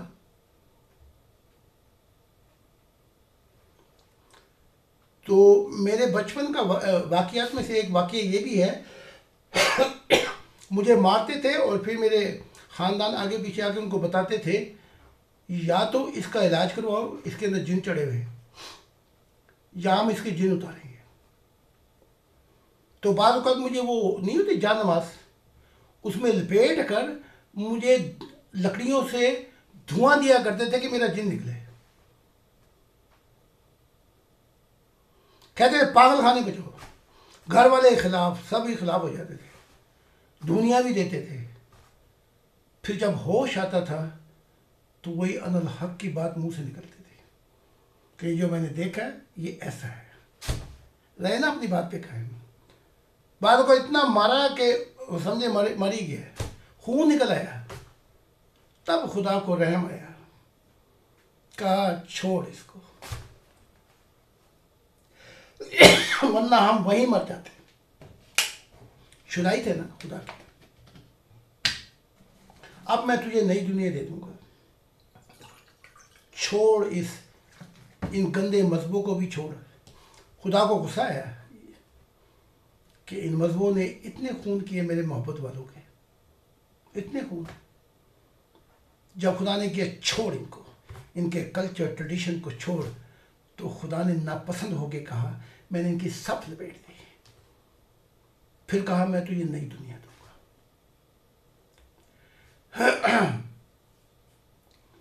तो वो भी अपना दीवाना बन के अबू शब्द भी बच गया, और भी बच गया। अब वहाँ खड़े होके अपनी रुबाई सुनाते हैं, बादशाह सलामत को। क्या सुनाते हैं? रुबाई। अपना ज़िंदा वाक्य पेश कर रहे हैं। मैं एक ऐसी दुनिया में पहुँचा जंतु में कि मैं खुदा हो गया। जैसा वो था, वैसे मेरी आँखें हो गई। जैसे उसके काम थे, मेरे भी कान ऐसे हो गए। जिसका वो दिल था, मैं भी हो गया। फिर खुदा ने मुझे अपनी रुबाई सुना रहे हैं। और तेल आगे से, तेल तेल जो है, वो उबड़ रहा है। ये इनाम मिलेगा इसको, रुबाई सुनाने का, हक को बताने का। और फिर कहने लगे नज़र तो वहाँ कुछ भी नहीं आ रहा था। कहने लगे कि ए मेरे हम अक्स मेरे हम सफ़र तेरा नज़दीक तो आ खुदा को कहता है। तो बादशाह सलामत को गुस्सा पड़ा चढ़ा। उसने कहा था ये जो आग ये तेल का वो है ना क्या कहते हैं बड़ा बड़ा वो क्या था? खड़ा खड़ा बड़ा सा है जी? कढ़ाया जी। हाँ कढ़ाया खुदा ने तो उसको गुस्सा बड़ा चढ़ा। उसने कहा ये खुदा को नहीं, ये तेल के कढ़ाई को कह रहा था, नदी का। वो वहाँ पे खड़ा होकर कह रहा है, ए, मसूर मुझे बता रहे हैं वहाँ पे कि, ए मेरे हम सफ़र, ए मेरे, जो मुझसे और तुझसे हम एक हो गए, जरा नज़दीक तो आ गले तो लग। पाशा ने कहा, ये जो आग, ये जो तेल का खड़ा हुआ है ना जो, खोल रहा है, इसको ज़रा नज़दीक कर दो। उधर मंसूर के इश्क की इंतहा उसे सेगी नहीं लग रही। कभी हमारे इकट्ठे हो गए सारे तो भी मैं भी माचिस की तीली एक लगा के इनकी इनके हाथ पर लगा के देखूँगा। हाँ, फिर देखो छः छः फुट उछलेंगे। हजूर ये क्या कर रहे हैं आप? बर्बाद दिया आपने हमें? हाँ। तीली बर्दाश्त नहीं। तो वो जो हमारा है ना, वो हिंदू, वो मैंने तीली जला के उसके हाथ में पकड़ाई, उसने हाथ से ऐसे करके पकड़ ली। मैंने कहा, शायद ये छोड़ उन्हें नहीं छोड़ा। हती कि वो आग की तीली ठंडी हो गई। मोहब्बत, इश्क, उल्फत मसलत कुछ भी नहीं देखता फिर। रूहानियत में नाम लिखवाने के लिए आप लाइन में खड़े हो गए। दुनियादार तो कह देंगे जी हमारी मसलत थी लिहाजा मैं दुआ ये करता हूँ, खुदा इनको ऐसा मौका दे दे कि इनकी मसलतें फिर वापस फिर ना रहे। क्योंकि मारने वाले यहाँ भी बढ़े उसने कहा, आगे तो आ। उसने कहा, तू किससे बातें कर रहा है? उसने कहा, मैं खुदा से बात कर रहा हूँ। आए मंसूर बता रहे और जब मैं मिलने लगा ना मंसूर से, रफ़ अल्लाह उस खुदा ने अपनी तरफ़ किया रफ़ा, राफिया। मंसूर से मिलने लगा तो कहा, मेरा इश्क और जहाँ मेरे इश्क की फना है, वहाँ ये कह के झुका और मेरे पाँव को चूम के कहता, वहाँ तो आपकी इब्तदा है। है। मैं तो एक गाँव भी खुदा के लिए नहीं लाया, कि एक गाँव ही लिया था। पेड़ भी नहीं ला सका खुदा के लिए। आपने खुदा के जमानों की बात की। तो फिर वो कोई उसने फिर खड़काया इसको। तो फिर बताता क्या है? कुरान आगे रखा गया, ये देख। उसने कहा, ये क्या है? मुझे भेजो, मैं अपनी किताब लेके आऊँ। वो इससे आगे की बात करती है। ऐसे कुरान तो मैं रोज लिख दूँ इसके बावजूद सूली पे चढ़ गया, फना हो गया, खुदा की दुनिया नहीं लाएगी है ना? तो ये नजराने एक दफ़ा नहीं। ईसा ने जक्रिया भी क्रॉस पे चढ़ गया। खुदा की दुनिया नहीं आई एली एली, लमा सबकता। तू भी मुझे छोड़ गया। लेकिन खुदा की दुनिया नहीं आई। तीन सौ साल गुजर गए, ज़िंदा शेरों के आगे फेंक दिया गया। और अपने बच्चे पकड़े हुए थे। जब शेर भूखे शेर टरते थे तो माँ या बाप उनको बचाने के लिए अपना जिसम पेश करते थे। ठीक है? अगला फिर शेर आता था, वो बच्चे को भी ले जाता था। ज़िंदा दरगोर कर दिए गए। पहाड़ों पे से फेंक दिए गए, ज़िंदा दफन कर दिए गए। आगे गए तो पता लगा कि जिसके लिए हम फना हो गए, वो तो भाग गया था मिशन से। वो तो निकल गया था, बल्कि छत्तीस अस्सी साल उसने बड़े मज़े से गुजारे श्रीनगर श्रीनगर में। पहाड़ पे आराम से सुकून की ज़िंदगी तो फिर इन पे क्या बीतेगी? जिसके लिए वो मर गए। कि हो गए बर्बाद हम, आबाद हम। अब तमन्ना यही है। वो आगे गए तो पता लगा वो तो सही सलामत बैठा हुआ है। उन पे क्या बिजे गुजरेगी? फिर भी मंसूर अपनी जान दे गया। तो यहाँ तो एक नहीं, खुदा ने मुझसे सात हज़ार मंसूर मांगे।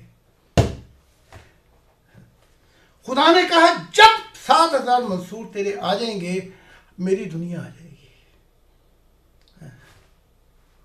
हम कहाँ से लाए वो मंसूर? ठीक?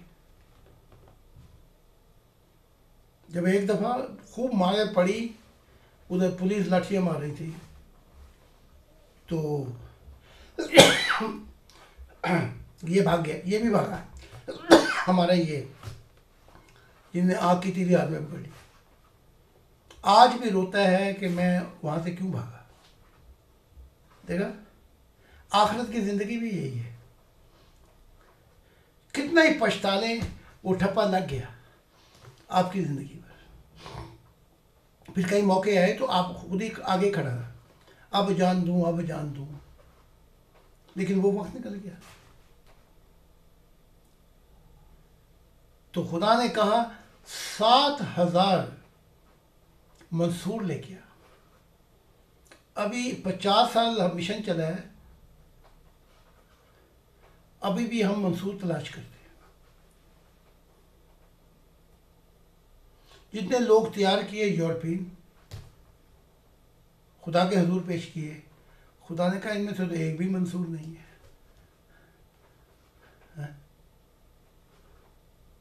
मैंने कहा, खुदा, फिर ये है क्या? कहा, ठीक है, इनको इनकी मजदूरी मिल जाएगी। और बस। मंसूर वगैरह कोई नहीं है। मंसूर आएगा 2080 के अंदर।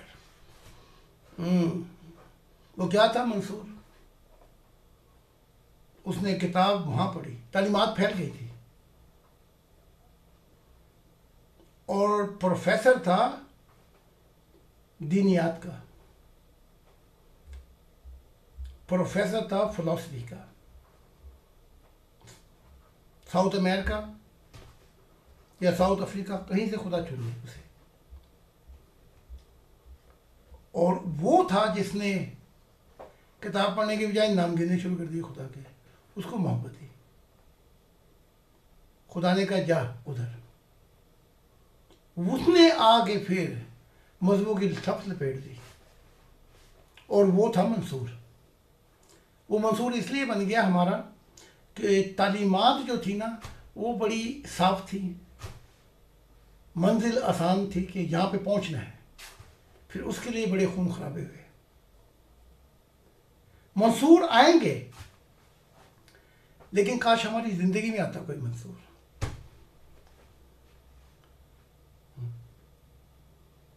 हमें दिमागी मंसूर नहीं चाहिए। जिसमानी नहीं चाहिए मंसूर मंसूर। जो ही दुनिया सामने आए, अपना रास्ता ही बदल ले पाँच घंटे का रास्ता पाँच हज़ार साल हो गए। बंदा गाड़ी नहीं पहुँचा। जिसमानी मंसूर। हमें ऐसे जिसमानी लोग नहीं चाहिए। हम आज भी पचास साल के बाद पुकार रहे हैं। कोई वो आए जो मुझसे आगे निकल जाए दौड़ में। ठीक है दिमागी मंसूर दिमा- मंसूर तो हो ही नहीं सकते दिमागी। दिमागी दुनिया भी, दिमाग के लोग भी आएँगे। शोर के भी आएँगे। शोर के आके लाशोरे बन जाएँगे। जिनका इलम ऐसे होगा कि वो आपको चुपी करा देंगे। सफ़र नहीं कर सकेंगे। इस राह में। जमीर के लोग भी आएँगे। अजीब अजीब अपने ज़मीर की रोशनी में देखेंगे बड़े बड़े आएँगे। लेकिन कोई उल्फत का, कोई इश्क का, कोई मोहब्बत इलाही का मंसूर नहीं आएगा। तो यूरोपियन बात बात मुझसे पूछते हैं, हम इतने साल चले हैं, हमारा मुकाम क्या है खुदा के यहाँ? पूछते मुझे। और अगर मुझे कभी कभी गुस्सा भी आया था तो फिर दो दो महीने इतने बड़े मुँह बना लेते हैं। क्योंकि सब्र की भी एक हाथ है ना नहीं सच सच फिर पूछते हैं कि सच सच बताना है। हमारा मुकाम क्या है? मैंने फिर बताना पड़ता है। तेरा मुकाम कख भी नहीं है। तुझे मजदूरी की दुनिया में खड़ा किया जाएगा। हाँ, ये अपनी मजदूरी। तुझे तो फरिश्ते भी नहीं मिलेंगे। बल्कि बात करना भी गवारा नहीं करेंगे। अब वो एलिजाबेथ थी, वो मुझसे पूछती थी कई दफ़ा और काफ़ी ग्रुप में। बार बार पूछते थे मुझे, हमारी दुनिया, हमा का हमारा क्या होगा? हम भी तेरे साथ होंगे, खुदा के हजूर दर्जा बता। अगर दर्जा बताऊँ तो फिर ये काम काम के जोगे नहीं रहे, मिशन के जोगे नहीं रहे। पहले मैं बताया करता था इनके दर्जे मुकामात। बस फिर चले जाते थे छोड़ के। अब मैं कहता हूँ कि मुझसे नहीं पूछना। मिशन पूरा करो, खुद ही पता लग जाएगा। तो ये है अपना देखें और गौर करें कि आपने किन किन जहानों की दुनिया से गुजरना है, जिस्मानी दुनिया से गुजरना है। इनकी तमन्नाएँ और सू पता नहीं क्या क्या होगा। दिमागी दुनिया से गुजरना है। ये बड़े लंबे दरिया हैं। शऊर की दुनिया से। फिर लाशूरी में चले जाएँगे। ज़मीर के पता नहीं कितने हैं। एक खरब लोग हों तो एक खरब ज़मीर होंगे।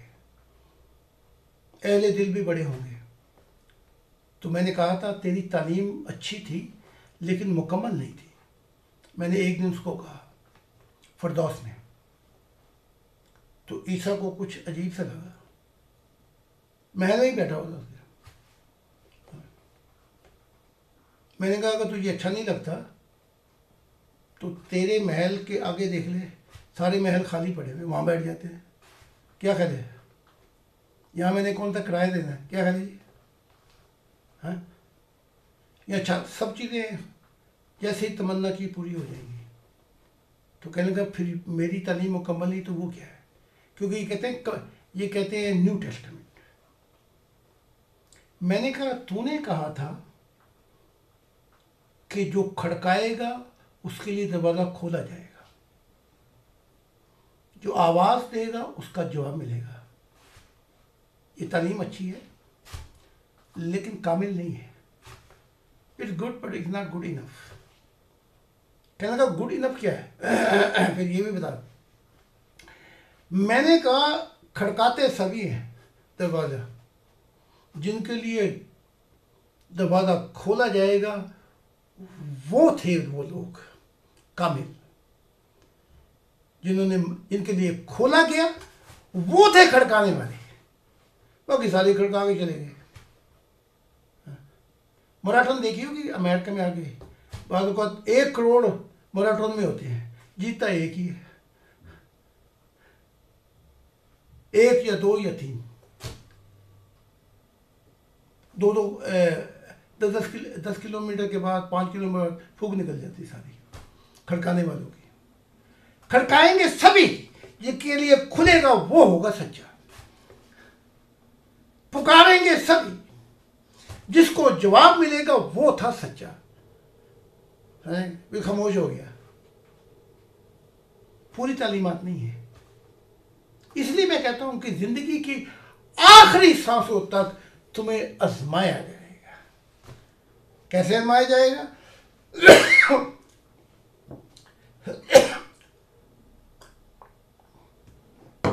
फरिश्ते भी और खुदा भी सुन कर देखेंगे। अब इसकी आखिरी साँसें रहेगी दो चार। अब भी वही खुशबू है जो पहले थी। या गई। सच्चाई छुप नहीं सकती बनावट के असूलों से कि खुशबू आ नहीं सकती कभी कागज़ के फूलों से। पता लगे सारे कागज़ के फूल बनाए गए जब सूंघेगा तो खुदा को खबर होगी उस आखिरी सांसों की खुशबू से अगर ये एक करोड़ साल भी ज़िंदा रहता तो यही ऐसी खुशबू आनी थी। ये फूल कभी ना मुझाता फिर खुदा दिल की तरफ़ तोजो करेगा, अब भी कोई मोहब्बत का राग रह गया कि नहीं रह गया? वहीं भी पता लगेगा, अगर एक करोड़ मिसाल, दस करोड़ और ज़िंदा रहते, अभी तो बहुत से राग थे जो मोहब्बत में पेश करने थे। फिर खुदा कहेगा, फरिश्तों रास्ता छोड़ देगा सारे जहाँ में छोड़ दो इसका रास्ता। अब इसको मेरे पास आने दो। तो मैं हमेशा कहता हूँ, आखिरी सांसों से। होता ये कि मेरा आवाज़ सुन के फिर तकलीफ़ें बड़ी होती लोगों को। लोग ये ऐसा म्यार पेश कर रहे हैं। ये मैं म्यार इसलिए पेश कर रहा हूँ,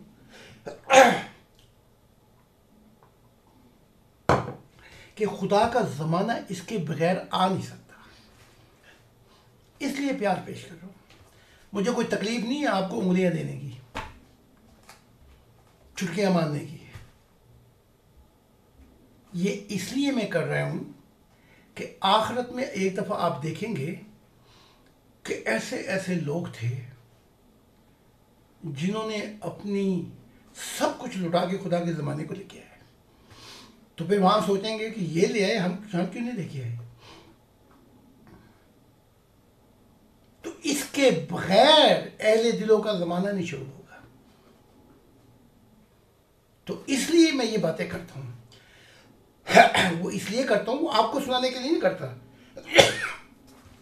आपकी सिरदर्दी के लिए कि लो जी, हजूर से कोई चंगी गल कर देगी खुशी तो जान तो क्या हूँ मुसीबत पा छड़ देंगे हाँ दिमाग ख़राब कर छड़ वो ये लेक्चर आपको नहीं दे रहा मैं। ये अहले दिल को दे रहा हूँ जो आने वाले हैं। मैं तो नहीं होऊँगा हम गुजर चुके होंगे। लेकिन इसी आवाज़ को, इसी तालीमात को सुनकर और इसी तालीमात को लेकर अहले दिल जो हैं, सब कुछ लुटाकर खुदा का ज़माना ले आएँगे। इसलिए खुदा ने कहा है कि जितने भी अहले दिल होंगे, इससे मुराद ये तेरे जैसे। तेरे जैसे वो लोग होंगे जिससे हमारा ज़माना शुरू हो जाएगा। तो अगर तकलीफ़ हुआ करे मेरे लेक्चरों से तो ये कहकर समझा दिया करें अपने दिल को कि हजूर हमारे से नहीं, बल्कि किसी अगले वालों से बातें कर रहे जो आएँगे। हाँ? क्योंकि मेरे वालों से फिर दिल बड़ा दुखता है। ओहो। जब भी आते हैं, चंगी गल कोई नहीं करते। हाँ जी? हमें और मुसीबत में डाल देते हैं। आए थे सुनाने के लिए, बोझ डाल गए हमारे पे, और ज़्यादा। हाँ जी। इसका तो मरने को दिल करता है, हमें भी लाइन में खड़ा करता है। लेकिन मैं कैसे, क्या करूँ मैं? खुदा मुझसे मंसूर मांग रहे हैं। मैं मर गया था। इसी लेक्चर को सुनकर, अहले ज़माना ने अपनी ज़िंदगी पेश कर दी। और खुदा की दुनिया ले आए। तो मैं उनसे मुखातिब हूँ। मेरी मोहब्बत जो है, मैं तो दफन हो गया था। रूह चली गई थी, जहाँ भी इसलिए जाना था। लेकिन मेरी मोहब्बत जो मैंने दी थी, उससे वो अहले दिल आए जिन्होंने खुदा की दुनिया को देखा है तो मैं क्यों ना बोलूँ? सबसे पहले तो यही बात है कि इस दुनिया में कोई भी ऐसा अभी तक नहीं है जिसने सारे मज़हब के अंदर कीड़े निकाल के दिखाए बताया हो कि ये है ये है ये है ये है। परवाही नहीं की किसी चीज़ की। खुदा को मैं जो मर्ज़ी करते रहता, बुरा भला। इनकी जूनी रिंग थी इनके नबियों को पकड़ा, देखा कैसे तड़पते हैं आपस में? खुदा पे जो मर्ज़ी करो ठीक लग रहा है। चलो, एक और आ गया, पागल मंसूर। जब इनके नबियों को पकड़ा मैंने, ओहो, फिर इनका दिल तोड़ दिया मैंने। तो यही लेक्चर जब मैं आया, मुड़ के, मेरे लिए तो ज़माने बदल गए थे, मैं तो गुजर गया था। बड़े बड़े अदमों से मैं अब भी गुजर रहा हूँ, और वो कायनातों में था जहाँ खुदा तख्लीक़ात कर रहा था। तो एक दिन खुदा ने कहा, मुड़ के जाके देख, मेरे साथ चल। और मुझे यहाँ लाया। तो यहाँ भी ज़माने बदल चुके थे। ज़मीन से इतना नूर आसमानों की तरफ़ आ रहा था, अब तो अंधेरा आता है। अंधेरा बदबू होती है, फजाओं में, रूहों की वजह से। फिर नूर आ रहा था। और अहले ज़माना जनतों के बासी कहते थे, खुदा की मोहब्बत को पाने के लिए हमें ज़मीन पर जाना पड़ेगा। ठीक खुदा मुझे लेके आया तो इस दुनिया की रुत बदल चुकी थी। आए कैसे कैसे अहले दिल थे? जब खुदा को ये कहते थे कि आ तो खुदा बादलों में आ जाता। कैसे कैसे अहले दिल थे? ठीक है। और सारे अहले दिलों को मैंने देखा। सदियाँ गुजर गई, हज़ारों साल गुजर गए मुस्तकबिल के। जो भी अहले दिल थे, वो मेरे मज़ार पे आके सजदा करते थे। तब तक उनकी मोहब्बत मुकम्मल नहीं होती थी। खुदा के हजूर। और कहते थे कि वो जो बात कही थी ना, इनके मजबों की, इनकी मसलतों की, दुनिया सब लपेट दी गई। वो खुदा के दिल ने ठीक कही थी। हमें नहीं चाहिए ऐसे इलम जिसकी वजह से हम गड़े में जा गिरे आगे जाके। जुनैद को कहा, तेरे पास बड़ा इलम है। तूने इलम को तो परखा ही नहीं। बताता ना अपना इलम फिर, पेश करता, ताकि मेरी दुनिया बदलती अब वहाँ क्या करें? दो सौ किताबें लिख के आया है। खुदा ने कहा, इनकी सारी किताबें इसको वापस करो। वो सारी किताबें जो लिखी थी, मार्फत लाएगी पता नहीं लगी।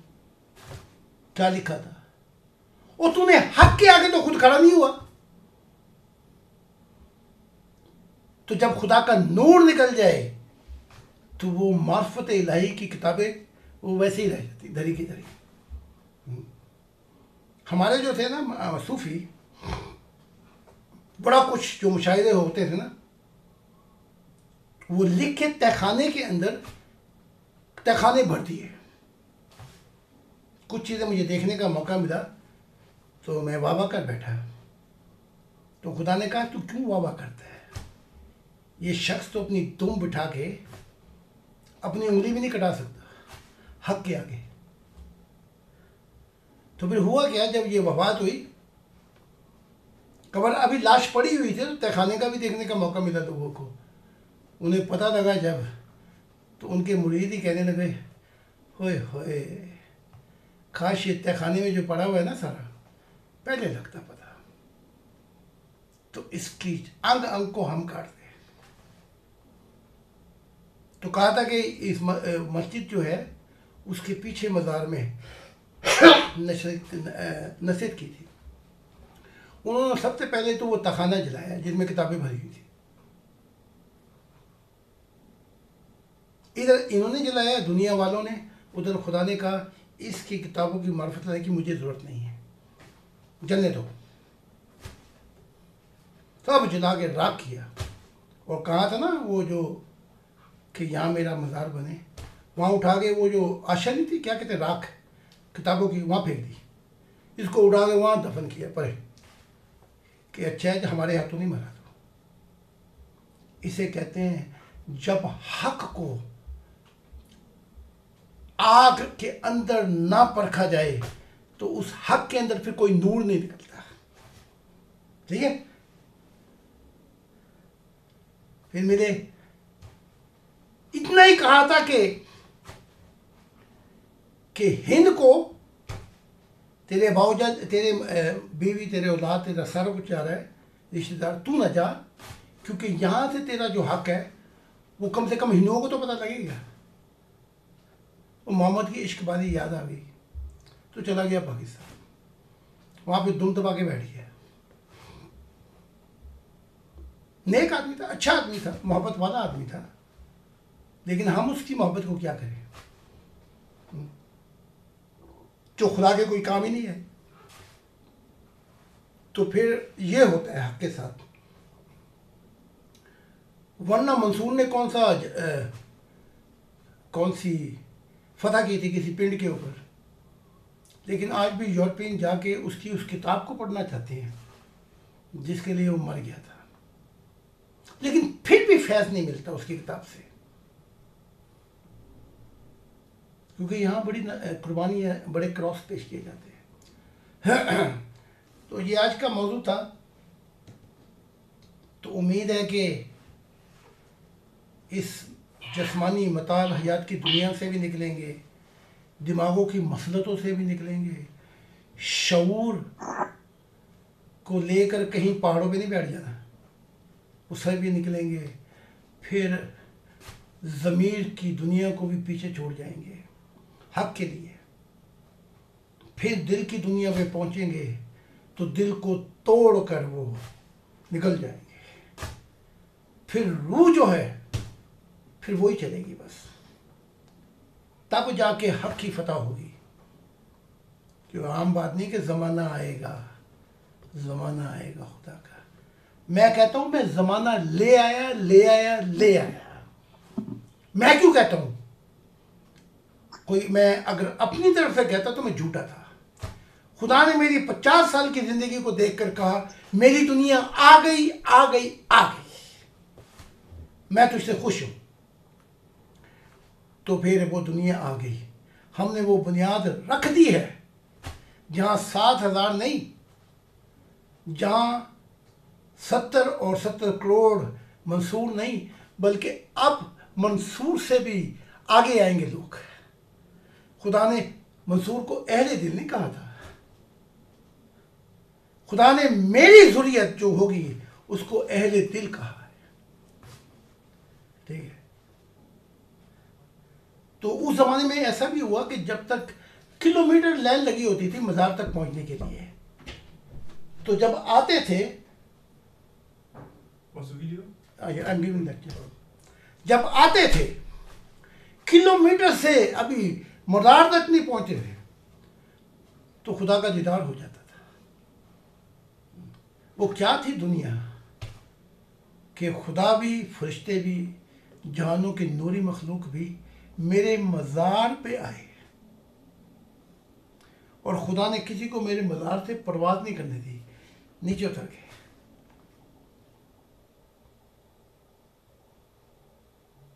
क्या थे वो दिन? वो मैं देख चुका हूँ। तुम तो देखोगे ना, मैं देख चुका हूँ। ये हो चुका है। खुदा दिखा चुका है। खुदा खड़ा होके वहाँ मजार पे रोता रहा। मेरे जिसम के लिए कि तू मुबारक है जिसम, कि तू दफन हुआ ज़मीन पे तो मेरी दुनिया आई। तो इसको सुनना है, लेक्चर को क्योंकि मैं जो बता रहा हूँ, मैं खुदा की मुँह से जो बात निकलती है, वो बता रहा हूँ। ठीक है? वरना मैं आपको वो खिलाता, क्या कहते हैं? वो क्या खिलाते हैं? वो सेब, वो सारे मिला के, चूरन डाल के, छोले भी डाल के, क्या कहते हैं? हाँ अचार। तुम्हें ऐसी अचार खिलाता, तुम मेरे नज़दीक चौबीस घंटे होते हैं। उई उई भी करते हैं। बड़ा मज़ा आया जी। चलिए चंगी क्या खिलाइए क्या कहते हैं? अच्छा क्या होता है? चाट हाँ। मुझे हाँ। इतना बेवकूफ़ नहीं हूँ अहले इलम में तुम्हें ऐसी चाट खिलाता ऐसी आदत डालता तो कहते जी रोज़ ही खानी है चाट। लेकिन ऐसी चाट में क्या खिलाऊं? क्या ये ऐसी अच्छी चाट होगी कि आपका वक्त ज़ाया कर दूँ? आप बताएँ। आपका वक्त ज़ाय कर दूँ और वहाँ पहुँच के आप बन जाए मंसूर। अगर हमें ये पता होता तो हम ये कर देते। अब कम से कम ये तो नहीं कहोगे। अब ये कहोगे सब कुछ पता था। बस, हमने अपना वक्त ज़ाया किया। तो मैं चाट खिलाने नहीं आया। मैं चाट खिलाने से मुराद ये है कि कोई नया मज़हब बना के आपको भी खुश कर देता। खुद भी खुश हो जाता। और आगे रब के आगे खड़ा होता तो फिर बस फिर क्या बताएँ बस एक दो मिनट की मुलाकात थी उसके बाद आप कहता है, जाए। तो आज का ये लेक्चर था। तो ये इसका नाम रख देना वीडियो का कि अहले दिल की दुनिया और मसलत वालों के जो मसलत से करते हैं सफ़र, उनकी दुनिया क्या है? फ़र्क फ़र्क कर देना। तो ये अहले दिल की दुनिया जहाँ से खुदा का ज़माना और वो दुनिया जहाँ से मसलतें के साथ चलना, उसमें फ़र्क क्या है?